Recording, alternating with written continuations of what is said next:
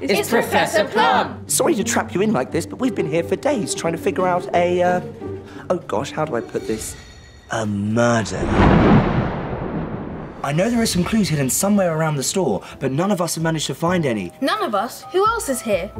We already know what door to open. Who's good with numbers?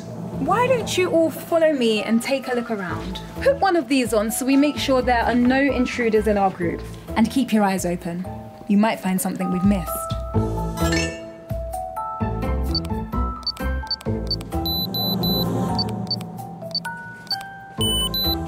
We did it, kids. Like I always say, there's nothing I can't do.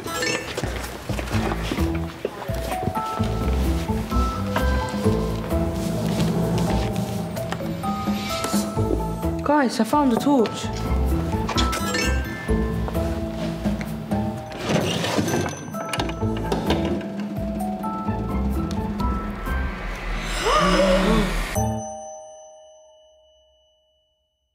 Smyths Toys Superstores. Hey,